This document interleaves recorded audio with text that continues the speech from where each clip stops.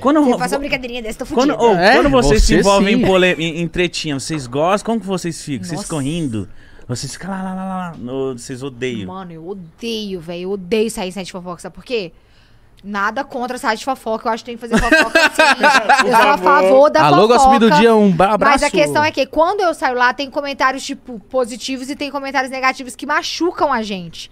Então, assim, por mais que seja uma coisa, tipo assim, ó, por exemplo, eu falei que eu vou, quero já começar a tentar engravidar no que vem em março. Pronto. Saí um site de fofoca. Aí nos comentários era tipo assim, as pessoas falando assim: Nossa, mas ela não cuida da filha dela e é fácil ter outro. Tipo, são os comentários que machucam, entendeu?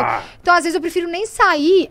E aí parece que é imã, né? A gente sai do site de fofoca e a gente já quer ver os Ah, comentários. você não pode ter mais filho, então. Exatamente. É, aí, tipo, cu, né? machuca. Ah. Então, às vezes, eu prefiro não sair Uhum. pra não ter os comentários negativos ali que machuca a gente. Mano, mas é muito bom você tá falando isso, porque o público tá vendo que você é normal, você é um ser humano. Sim, eu que a galera é. deve olhar você e falar: Nossa, pode atacar que ela é de pedra. Isso, ela é figura pública, ela tem que aceitar as Sim, críticas. não, não é. Só que eu evito falar, porque assim, um site de fofoca tem 5 milhões de seguidores, tem 10 milhões de seguidores, tem página de fofoca com 18 milhões de seguidores, 20.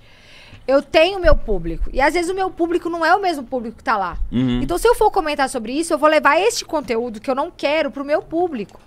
Então, então eu não quero passar isso pro meu público. Eu quero continuar ali de boa. Não que eu não fique mal, não que eu não sinta. Mas eu não gosto de postar realmente. Eu Mas não gosto cê- de postar o triste. Eu não gosto, Você tem, É uma entre coisa- essas, pouco tempo na internet, não é? É, eu tenho cinco anos. Tá.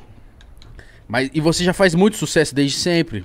Então é difícil saber lidar. Mas o Mítico aprendeu esses, esses tempos aí. É, eu tô há 10 anos, mas quando eu entrei no Podpah, eu vi umas críticas. Quando você aprender... Eu falava, mano, que porra é essa? Aí ele sempre Quando falava. você aprender a ler e aquilo não te machucar Não mais... é e maravilhoso. Você ligar aí, o foda-se... aí foda-se. Aí, Aí aprende com ele.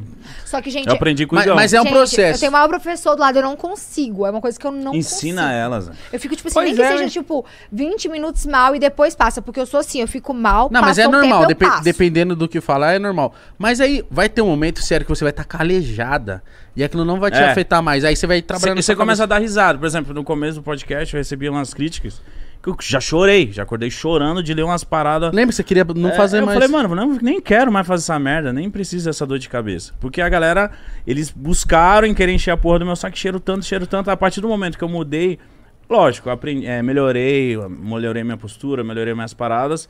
E quando eu comecei a ler essas críticas sobre mim, eu falei, ah, mano, vai se fuder. Foda-se, eu sou foda. E aí mudou. Mudou realmente. Quando eu comecei a falar, foda-se, velho. Não vai, não vai mudar em nada o que um pedaço de merda tá falando sobre mim. Porque às vezes a gente até vai nas críticas e a gente muda o nosso jeito por causa da pessoa e aí a gente perde a, nossa- a nossa essência, o nosso brilho. É. Que isso não pode acontecer. Então, assim, por isso que às vezes eu prefiro Mas não o aparecer massa- em página de fofoca pra não ler os comentários, pra não alterar o meu jeito, pra não Mas sofrer. tem, tem É isso de atirar o G. Por exemplo, que me criticavam da minha risada. Aí, Aí eu falava, a Hum. maior crítica minha era sobre a minha risada. Eu falava, mas o gente. que, que eu vou fazer, eu não né? tenho o que eu fazer. Essa é a minha risada e vão se fuder. Deixa dar uma risada aí. Acabou. Não consigo. Vai. é, Porque fala- eles acham que é só forçado, mas eu não consigo.